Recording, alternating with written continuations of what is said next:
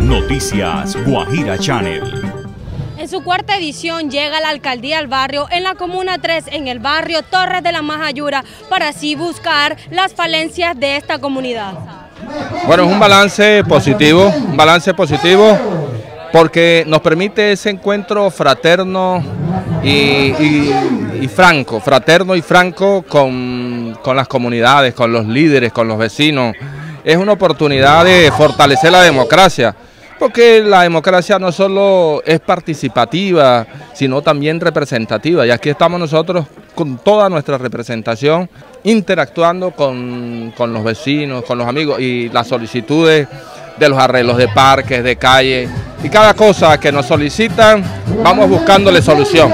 Bueno, vamos a seguir trabajando en unos temas que son fundamentales, que es el tema del agua, resolver el tema del agua de este municipio que históricamente ha tenido dificultades con eso y nosotros eh, tenemos la convicción porque estamos trabajando para ello, para resolver el tema del agua.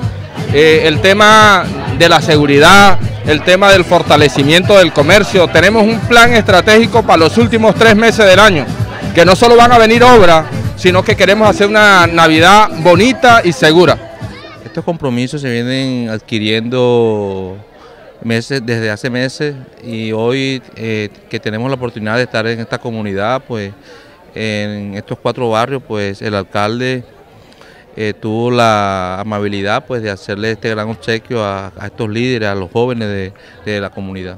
Sí, de verdad estamos contentos, nuestra comunidad pues en el barrio, esto lo estamos esperando para mostrarle a él las necesidades y para que él tenga esas inquietudes, que de verdad no solamente en tiempo de campaña política se comprometa, sino ahora que es alcalde pues lleve los beneficios al barrio. El, barrio tiene muchas necesidades y necesitamos que nos solucione tan siquiera una, dos o tres, pero que nos solucione.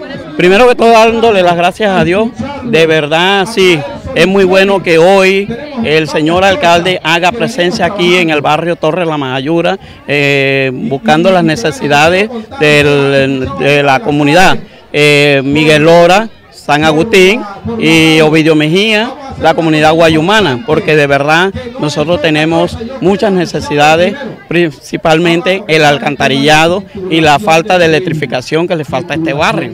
Ya, las vías de acceso que nos vienen a diario matando, las vías de acceso, ¿por qué? Porque cuando llueve quedamos incomunicados. Secretaría de Educación, Salud, Deporte, entre otras oficinas adjuntas a la administración municipal se vinculan a este tipo de actividad para buscarle solución a las problemáticas de esta comunidad.